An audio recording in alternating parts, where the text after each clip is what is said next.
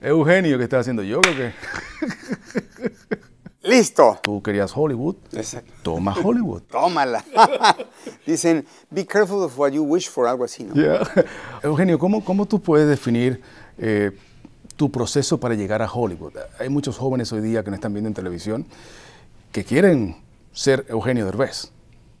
Mira, el error más grande que pueden hacer es ir a pedir trabajo. Eso es lo que hace todo el mundo. Todo el mundo quieren conquistar Hollywood, dicen, ya sé que me voy a Hollywood y voy. Y lo primero que hacen es llegar acá y empezar a ir a castings y a tocar puertas y, y a ver cuál se abre. Y eso es lo que hace todo el mundo. Eso no funciona. Eso lo hice yo por muchísimos años y nunca funcionó. Lo hice en México, no funcionó. Lo hice cuando quise hacer películas en México, tampoco funcionó. Lo hice aquí y no funcionó. Lo que sí funciona, lo que me ha funcionado toda mi vida, es no pedir, sino ofrecer. Lo que me cambió la vida fue el día que, en lugar de estar tocando puertas y decir, ay, no, no tiene un papelito, no, no me puede dar, no me ayuda, mire aquí. No, llegué no con- mendigar. No mendigar, llegar con un proyecto. El día que yo llegué con mi programa de televisión a Televisa, se me abrieron las puertas. El día que yo llegué con mi película y, y la hice, que fue Instruction Not Included, me cambió la vida. El día que llegué aquí a Estados Unidos y, y empecé a producir mis propias películas, me cambió la vida. No es fácil tampoco, eh, pero, pero creo que es el mejor camino. Si realmente quieren conquistar un mercado, lo que tienen que hacer es eh, consíganse un escritor, trabajen en lo que quieran, lavando coches, de meseros, de lo que sea, y paguen un buen escritor, consigan un buen guion, porque un buen guion es la puerta que les abre la oficina de cualquier productor, de Steven Spielberg, con un buen libreto, les abre la puerta. Entonces creo que por ahí es el camino. Hace muchos años te visité en tu, en tu cuartel de producción en México. Recuerdo que había un patio interior, tú tenías unos carros de carrera, algo así. Yo estaba muy jovencito para esa época, estaba hablando más de 20 años. Y, y si nos remontamos a esa época, Eugenio, a ti no te hace falta Hollywood económicamente, o sea, tú estabas muy sólido en México. Mira, te trataré de decirlo lo más condensado posible. Yo tenía ese sueño cuando era chico, cuando tenía 8 o 9 años tuve ese sueño y lo tuve hasta los 19, 20, que me empecé a preparar para venirme a Hollywood y yo quería conquistar Hollywood. Y un buen día me convertí en padre, eh, la vida me llevó por otros rumbos y empecé a olvidarme de mis sueños, como a muchos nos pasa. Y empiezas a olvidar tus sueños, los dejas atrás, los dejas atrás y empiezas a vivir la realidad. Y dices, no, pues una cosa es lo que sueño y otra cosa es la realidad. Y empiezas a sobrevivir en tu realidad. Y yo llegué a los 40, 41 con mi realidad, pensando que era lo que yo estaba haciendo y que estaba yo feliz. Muere mi mamá y en esa recibo una llamada, que yo digo que era una llamada del cielo, en donde me hablan de Estados Unidos para decirme, oye, soy un agente de artistas, me interesaría ver si podemos hacer cosas aquí en Estados Unidos. Y en ese momento me acuerdo y digo, claro, yo tenía un sueño. Yo tenía un sueño cuando era joven, cuando era niño, y lo dejé. ¿Por qué lo dejé? Y ahí es donde me vuelve a renacer. Me dije, pero ya estoy grande, ya no estoy en edad, no me importa, voy a intentarlo. Ya tengo todo, ya tengo una posición económica, ya logré lo que quiero, ya ahora voy por mi sueño. Y en ese momento decido empezar a estudiar inglés, a tomar clases de actuación e intentar luchar por Hollywood.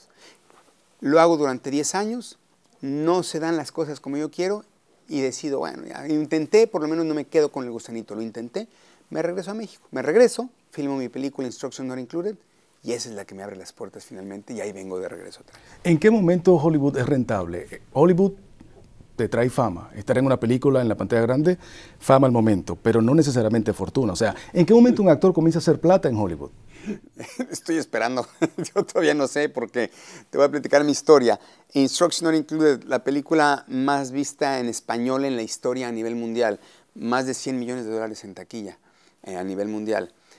Obviamente, si hubiera sabido eso, mm, hubiera invertido mi, mi- mi dinero, hubiera vendido mi casa, eh, pero desgraciadamente no, no, no fui yo el, el- el ganón. Eh, hubo otros productores que fueron los que invirtieron, los que se quedaron con el dinero. Entonces vino la segunda película y, y, este, y tampoco eh, lo que cuesta una película versus el- la publicidad, lo que cobran los cines y demás, necesita hacer un trancazo de taquilla para que realmente empiece a dejar dinero. Entonces ahorita estoy en esta etapa en la que me he estado manteniendo con cositas por aquí, cositas por allá, pero todavía no alcanzo a ver ese dinero que del que se habla en Hollywood. Yo creo que eso viene cuando empiezas a ser ya un hombre consolidado, un hombre grande ya, que, empiezan a considerarte para películas en donde son eh, producciones multimillonarias. Eh, yo creo que voy en buen camino, pero todavía no. Yo creo que te lleva unas, yo digo que unas cinco o seis películas para que realmente empieces a, hacer el dinero que, que, tanto oyes y que tanto escuches en Hollywood, pero todavía no. Todavía no estoy ahí, estoy, estoy en camino a. Hiciste con Salma Hayek uh, Latin Lover son muy buenos amigos ustedes, ¿no? ¿Cuánto te sorprendió esta caja de Pandora que ella abre en Hollywood con Harvey, hablando sobre los acosos sexuales en Hollywood? Pues mira, a mí no me sorprendió tanto porque durante la filmación de, Latin Lover ella platicó un poco de esto de alguna manera y, todavía no estaba el movimiento de Me Too. Y salió el tema, salió el tema de Donald Trump también, que ella ya lo ha hecho público, de cómo él la estuvo acosando. Entonces, este, pues no, me extrañó, es una mujer muy fuerte, muy valiente, que gracias a Dios, eh, y, eso se lo admiro tremendamente, ha tenido la fortuna de llegar tan alto que ya no hay nadie que le pueda detener, que la pueda callar, y siempre ha sido una mujer muy valiente, dispuesta a alzar la voz cuando hay que alzarla, y aparte dispuesta a defender a los latinos cuando hay que defenderlos.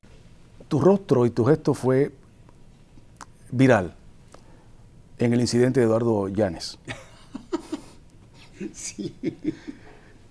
Y luego vi que tú que estabas eh, de acuerdo ¿no? con, la, con la acción o que preferías ¿no? que, que los reporteros no preguntáramos de, vida, de la vida personal. No, no, no. Te voy a explicar porque yo, yo en lo personal, en toda mi carrera, me han hecho todas las preguntas que te puedas imaginar. ¿Y respondes? Y, y, respondo a todas y nunca me he enojado. De hecho, los, los publicistas que siempre te acompañan cuando empiezan a hacerme preguntas incómodas, entran y, no, no, no, ya, vamos. Y yo les digo, no, yo no tengo problema, yo siempre respondo con comedia. Y eso me, me libera, me, sé cómo hacerlo. Eduardo no, Eduardo es mucho más violento. Eh, en ningún momento, en ningún momento justifico la violencia, ni, ni, en ese momento la justifiqué. Lo único que dije y que lo repito es que yo estaba ahí junto ¿Tú sentiste la brisa? no, no, no. Previo antes, yo empiezo, veo a Eduardo, lo iba a saludar, pero dije, está, está en una entrevista, y voy con el reportero que me empieza a preguntar. Y empiezo a escuchar, empiezo a escuchar, así como... me acerco a mi entrevista y empiezo a escuchar cómo le empiezan a hacer preguntas muy agresivas y muy incómodas. Al grado que me empiezo a distraer porque dije, bueno, ¿quién es este reportero y qué le pasa? ¿Por qué le está haciendo estas preguntas? Lo está queriendo provocar. Y entonces me empiezo a distraer y me empezó a... No, que, Eugenio, ¿qué proyecto estás haciendo? Y yo, eh, eh, eh, ahorita, porque yo estaba con la oreja acá, porque me di cuenta que el reportero le estaba provocando y dije, bueno, pero ¿qué le pasa a este tipo? Y de repente dije, no, ya, ya, ya, enfócate en lo tuyo, de que estar en el chisme y enfócate en lo tuyo. Y en esas vino el golpe que no me lo esperaba y la reacción. Y lo único que dije fue, perdón, pero el Señor lo estuvo provocando y lo estuvo provocando y lo estuvo provocando hasta que recibe el golpe. No fue que Eduardo fuera violenta a la nada, el reportero comenzó la agresión. No debió haber sido golpeado bajo ninguna circunstancia, pero el que empezó la agresión fue el reportero. ¿Cuál sería una pregunta incómoda para ti? Pues mira, yo creo que, te repito, yo me zafo de todas las preguntas, sé zafarme con mucho humor, pero yo creo que todo lo que tiene que ver con la familia es donde más te duele. Eh, y yo que pasé un poquito por lo mismo con mi hijo José Eduardo cuando me separé y que lo dejé de ver mm, por mucho tiempo, me dolía mucho eso, porque traes la carga emocional de no ver a tu hijo, o de estar peleado con él, o de estar peleado con la madre, de, no estar en contacto con él, te duele a un nivel personal muy fuerte y luego llegas a una alfombra roja, frente a una cámara, y alguien pone el dedo en la llaga y te dice, oye, ¿y tu hijo? ¿Y no será que tú no lo...? O sea, te, platico de mi, experiencia. Yo tenía años luchando por ver a mi hijo, pagaba yo abogados, estaba yo anímicamente desgastado porque yo quería ver a mi hijo y no me dejaban verlo durante muchos años. Y, y, y después de tantos años de luchar por ver a mi hijo, de repente llega alguien y te dice, Oye, y pues, dicen por ahí que no has visto a tu hijo y que, se siente crecer sin ver a tu hijo y por qué eres tan irresponsable. Y en ese momento se te enciende la sangre, porque dices, con ganas de decirle, ¿y tú qué sabes de mi vida si no sabes todo lo que he hecho por ver a mi hijo?